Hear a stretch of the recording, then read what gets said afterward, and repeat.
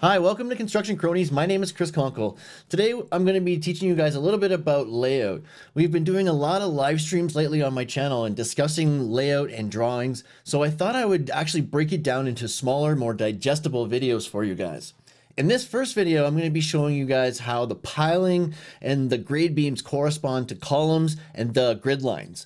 So this is the very basic foundation of how construction projects are started and where we get the grid lines from as well. So then you can take them from the drawings and get your measurements to do your layout. All right, so metal stud framers, this is for you.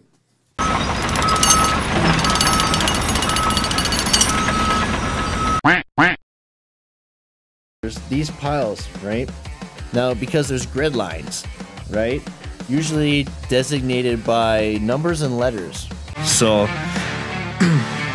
this this is all uh, in the ground, right? These piles are in the ground, and then the the slab gets poured after, right? The the piles are inside the ground. They get they they could be um like they're just circular, circle, circle, circular. Uh, filled with concrete. Basically, they, they, they drill them out, and um, here, let me see.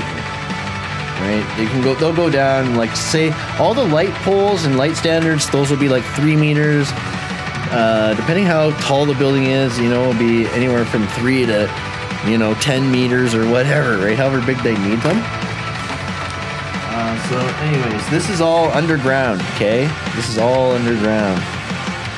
The the piling rig comes in and they drill a hole, and if the ground is sturdy enough, they'll just pour concrete directly into it. Okay, after dropping a rebar cage. Sorry, There'll, there will be a rebar uh, cage dropped in. Okay, and then the concrete will be poured in.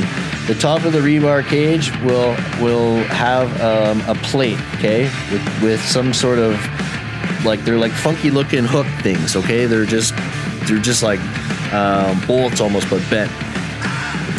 The this is now where the pile cap will be built, right? There'll be what's called a pile cap, and then grade beams, right? So a pile cap is is just a little bit bigger, but what they do there is they put a plate in the concrete to attach to the I beams, okay? The steel I beams, right? Now, this is all below the grade who could be anywhere, okay? Grade could be here, uh, whatever, okay? But then this is where your grade beams come in, okay? They'll attach from pile cap to pile cap, right? Blah, blah, blah, right? So this is a grade beam, pile cap, pile, and then this slab is poured in what's left after, okay? There's rebar, everything like that. But that's not. That's just what you don't see. Okay. So there's a system to everything. Okay. This pile, the I beam, is is a structural thing. Okay. You're going to be following this system all the way through the building. So it's important to know what's inside of it. Right. There's. It's just for integrity. Now you understand why. Right. You're not going to put like usually you're not going to put structural studs somewhere like inside you know where, where there's no there's no grade beam or you know pile cap or whatnot. You know, uh, you you'll be doing like interior partitions is what that is. So you can find grid lines from from from doing this. Okay, finding the centers of the piles and the pile caps. Okay, you can you can find and you can snap the grid lines. From the grid lines is where you can get your numbers from the drawings, right? The blueprints. Uh, and it's it's kind of like simple as that. There's um, there's there's ways that you have to cheat this sometimes. The, the, that's what I mean by making the the structural steel and the concrete perfect because it's in, it's imperfect every time. Okay, every time it's in, it's imperfect. So it's our job to make the steel work with it. Okay, so that everything else works. Um, so you need to pay attention to the, your the, every finish. Okay, so that's what's so neat about steel stud. Okay, and in drywall is because we're involved with every trade, like almost every trade, you know, um, every trade except for like the flooring guys or whatnot.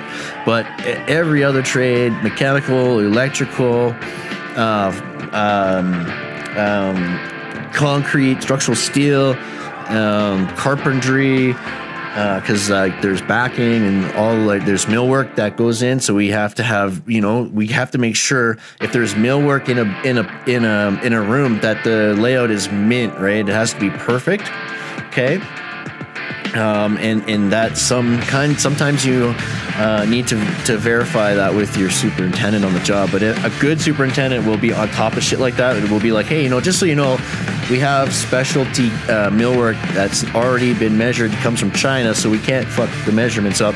Um, make sure it's this measurement, okay? And you do it right. Uh, the lot of lot of lot of people will be like, oh, I mean, what I'm gonna just put on what's on the drawing and what's on the what's what's on the drawing, right? Screw them, right? I'm just do doing my job and put up put what's on the drawing, and then uh, put in a change order later. I can get paid more, okay, to do a change, okay.